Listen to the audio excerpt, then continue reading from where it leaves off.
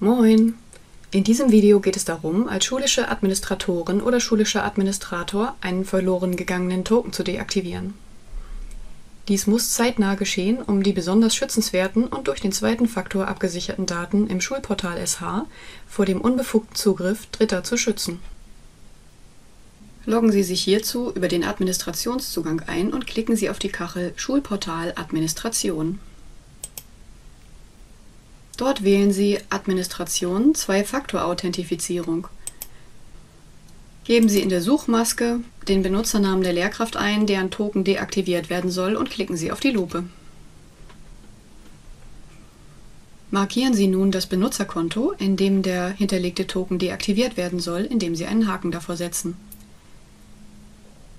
Klicken Sie anschließend auf Verlorener Token. Sie erhalten nun den Hinweis, alle bestehenden Token werden gelöscht oder deaktiviert.